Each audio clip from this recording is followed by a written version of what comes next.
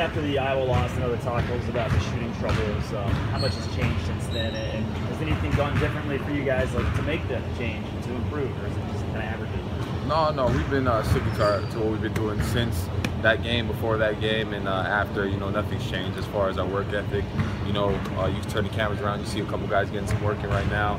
Um, it's been that way all year. Um, you know, you have your ups and downs. Um, you know, I was talking to Monte yesterday on the bus.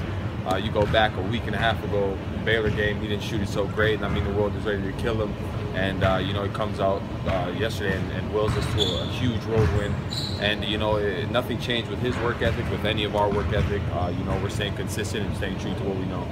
How tough is Matt? Turnovers at a high rate. What's the key to that? Any pressure? Um, you know having our different lineups um, and, and how diverse we are as far as having DB at the four or five, putting that at the four, myself sometimes. Um, we can do things like blitz ball screens or trap here and there, and uh, you know, get in different places because we're just we're quicker than I mean the average four guy if I'm there. You know, um, it, it's it's real obvious, and we're just using that to our strengths, um, our speed and our quickness. And uh, Coach uh, and, and the coaching staff is putting us in great positions to be great defensively, and it's been working in our favor. How tough is Matt? Oh, he's, he's, he's a monster, man. Um, like uh, you know we said a couple weeks ago, we don't think he's missed a practice since uh, I know since I've been here with him. Uh, you know since Monte and him came together, I never seen him miss a practice. And for him to have to miss a couple practices because because of his ankle, you know it's a serious situation. And then coming out uh, yesterday and playing how he played, taking the right steps as far as resting, and just you know maintaining his confidence and, and again 18, 19 points was huge for us. Um, you know, he's, he's a soldier, and uh, you know that's why we rely on him as one of our seniors.